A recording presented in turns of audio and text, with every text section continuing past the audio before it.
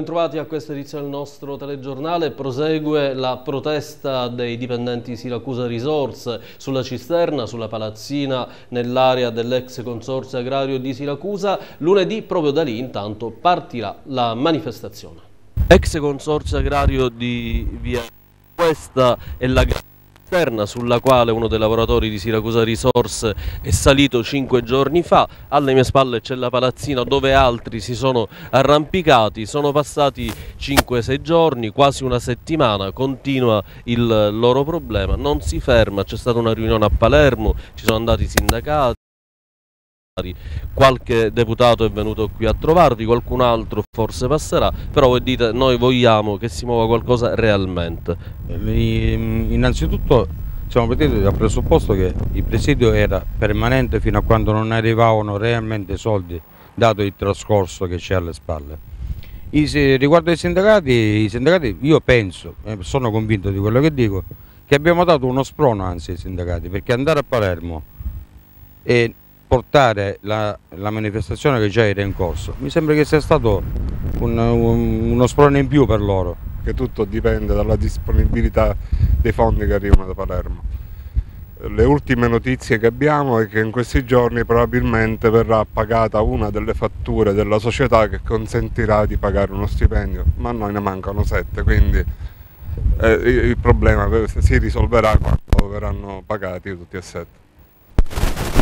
Continuano le proteste per quanto riguarda l'accorpamento delle Camere di Commercio di Catania, Siracusa e Ragusa, posizioni diverse, intanto le associazioni di categoria diffidano il Presidente Rosario Crocetta.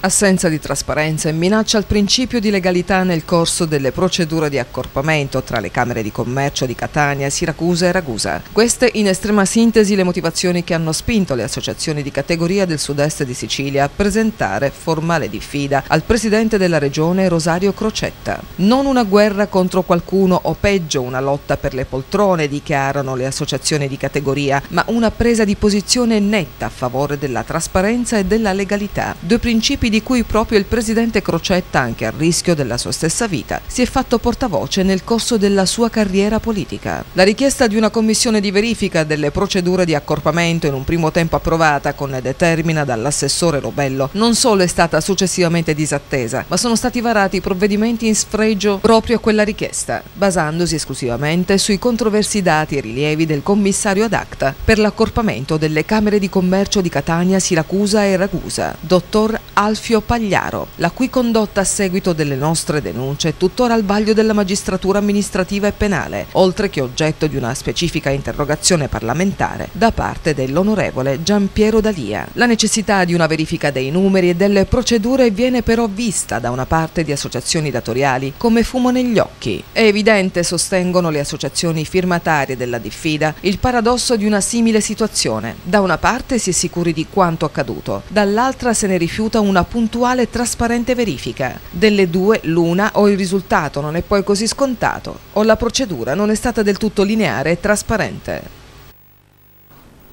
Adesso la rubrica La spina del fianco che ci porta nei pressi della pista ciclabile accanto al monumento ai caduti d'Africa. Potrebbe essere un luogo per passeggiare o per fare sport, andare in bicicletta. In realtà è diventato un luogo abbandonato, pieno di pericoli e senza sicurezza.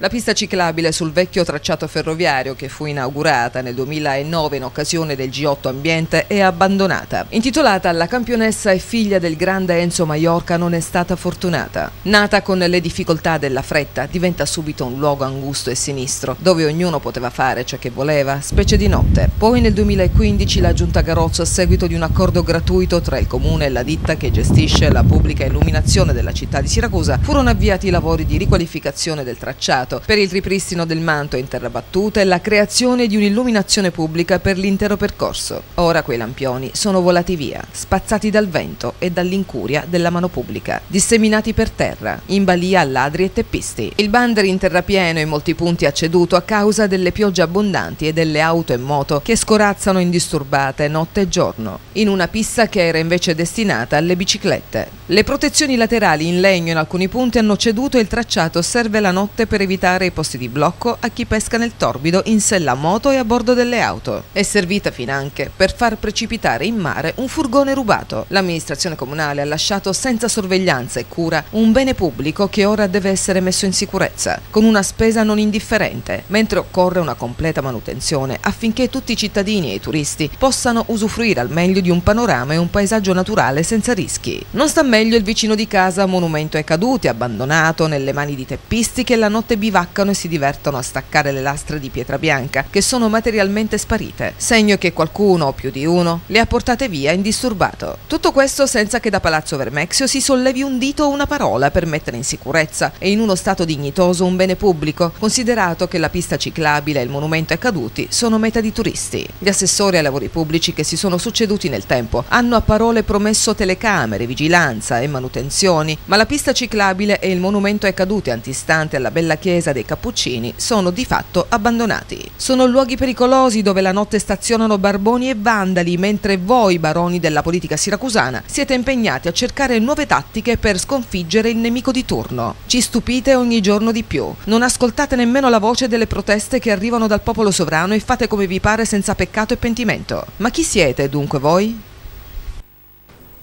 Sede dei vigili urbani in via del Molo, alcuni degli ambienti non sono fruibili, bisogna fare dei lavori di messa in sicurezza e ristrutturazione, quindi quegli uffici al momento sono stati trasferiti al Palazzo di Vetro di via Brenta.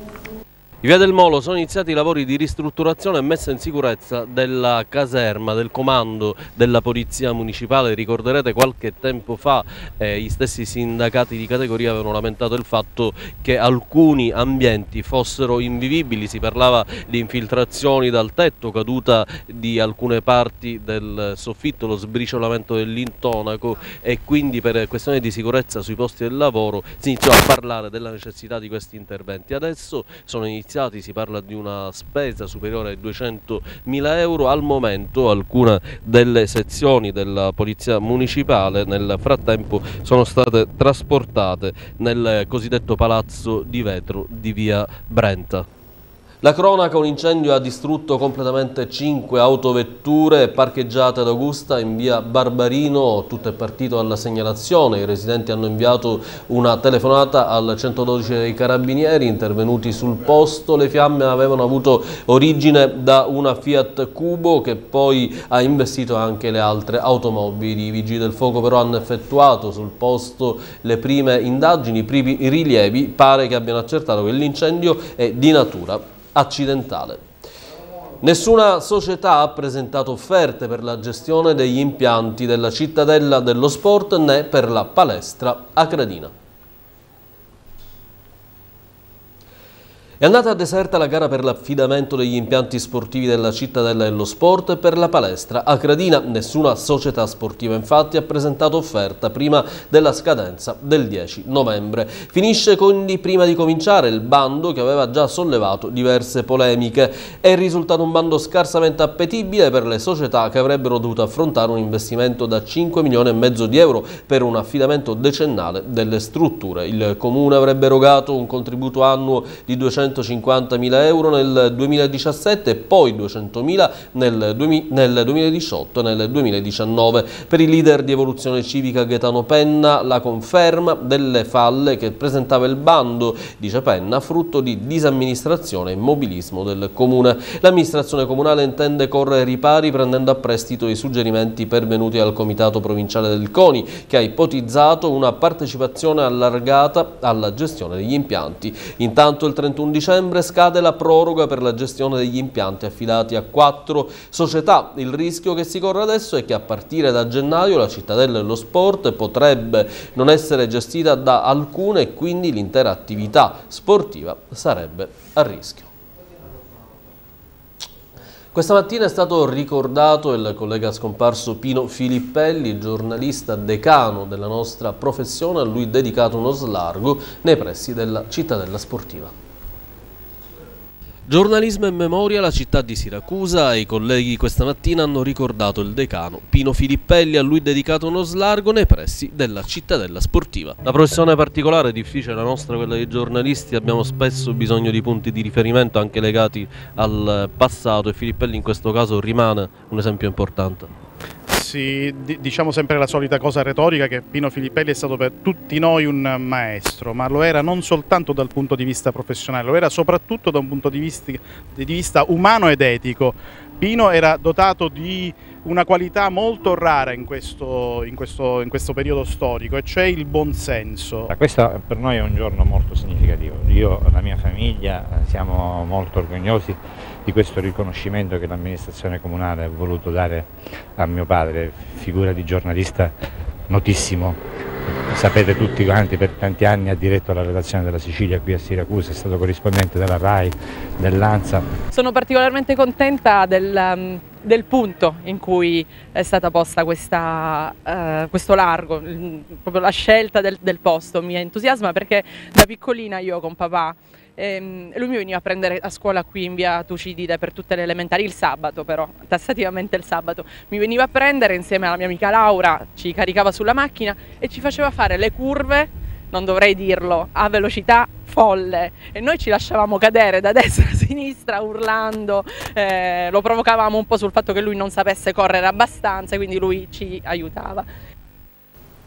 È partita ieri sera la quarta edizione del Festival Documentaria. Noto 2016, film in concorso sono 12 ha preso il via la quarta edizione del Festival Documentaria Noto, ideato ed organizzato dal collettivo artistico Frame Off. Un'edizione interessante e ricca che è partita con le proiezioni dei primi due film in concorso al Teatro Comunale di Noto, Grozny Blues di Nicola Bellucci e Nemico dell'Islam. In questo primo fine settimana gli altri quattro film in concorso saranno Triocala di Leonardo Picarella e L'ombelico magico di Laura Cini, oggi L'albero di trasmissione di Fabrizio Bellomo e Luce mia di Lucio Viglierchio domenica. La giuria sarà chiamata ad assegnare riconoscimenti, migliore regia, montaggio e fotografia e che gli spettatori in sala saranno invitati ad esprimersi sui film, contribuendo ad assegnare a fine festival il premio del pubblico. Così come grazie alla collaborazione del dirigente scolastico dell'Istituto Matteo Raeli di Noto, Concetto Veneziano, è confermato anche il premio scuola. La serata di venerdì avrà però alcune interessanti anteprime. Adesso sport e il calcio col Siracusa che si prepara all'incontro di domani con l'Acragas. Era importante riuscire ad ottenere una vittoria esterna per il morale, per rasserenare l'ambiente, ma soprattutto per scrollarsi di dosso il persistente problema mentale che affliggeva la squadra sin dalle prime giornate. Il convincente successo ottenuto sul campo della Regina è stato probabilmente utile a trovare per Mister Sottil la quadratura del cerchio, il modulo più idoneo dell'11 schierato che si concretizza nel garantire ottime trame di gioco, schemi eseguiti in modo corretto e tanta grinta.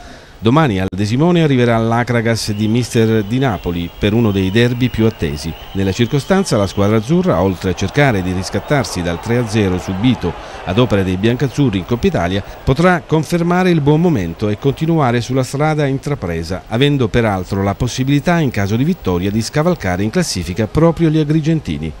Non saranno della gara Spinelli, squalificato per un turno, Scianamè e Filosa ancora alle prese con i postumi di un infortunio.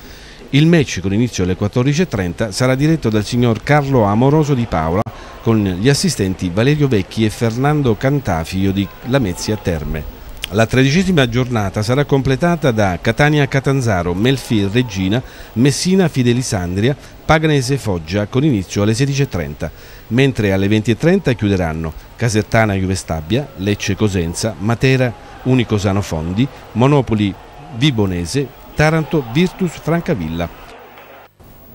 Prima di chiudere un appuntamento, questa sera si tiene il secondo degli otto concerti d'organo nella cattedrale di Siracusa. Il nome dell'iniziativa è Parole d'organo, si inserisce nell'ambito del corso per operatore liturgico musicale. Il concerto inizia alle 20.30, protagonisti il maestro Diego Cannizzaro e l'organo della cattedrale, restaurato da poco. Parole d'organo è promosso dalla cattedrale di Siracusa insieme a Kairos. Gli altri concerti saranno poi il 10 dicembre, il 14 gennaio, il 18 febbraio, il 18 marzo, il 22 aprile e infine il 13 maggio.